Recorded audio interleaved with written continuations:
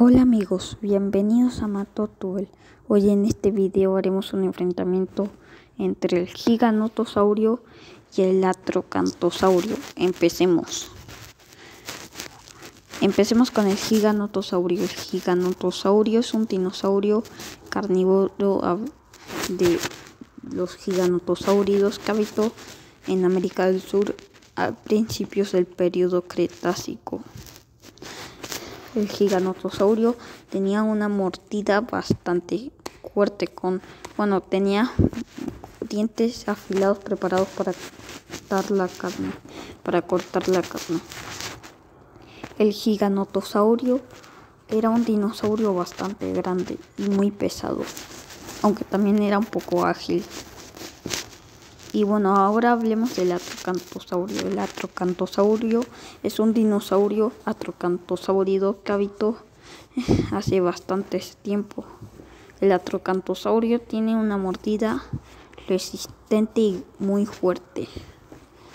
Tenía brazos largos como el giga y una agilidad bastante bastante buena. Era un poco más ágil que el giganotosaurio. Ahora sí empecemos con el enfrentamiento.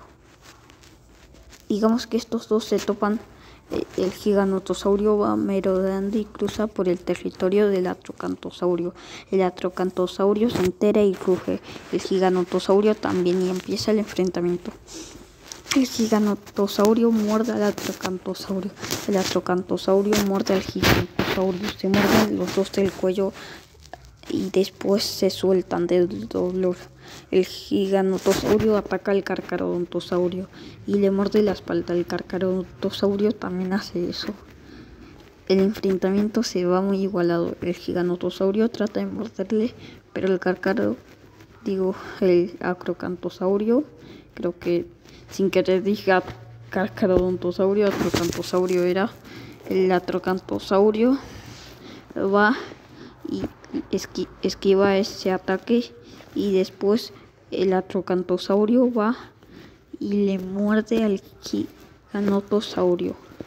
Pero el giga le consigue morder y, y al final el acrocantosaurio se, rinde y, y, mejor se aleja, ganando el giganotosaurio. Bueno amigos, hasta qué vídeo de hoy.